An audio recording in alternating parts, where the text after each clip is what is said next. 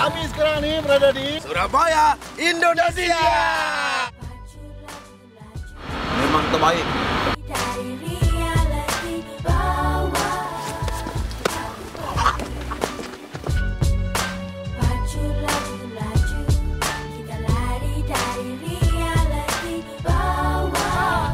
Ini baru berapa?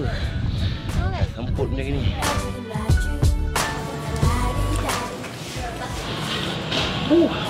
Cik baik tak minta 10. Mula-mula makan sedap. Tapi akhir-akhir akhirat betul.